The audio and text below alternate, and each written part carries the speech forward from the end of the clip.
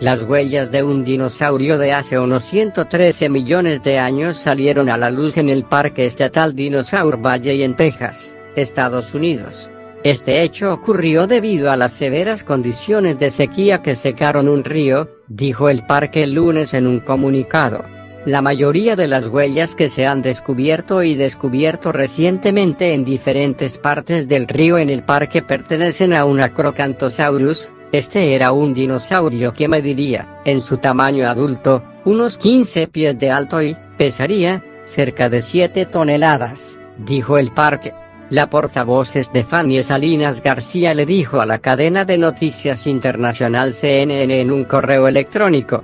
La otra especie que dejó huellas en el parque en Glen Rose, Texas, fue Sauroposeidon que mediría unos 60 pies de alto y pesaría unas 44 toneladas cuando fuera adulto, agregó García.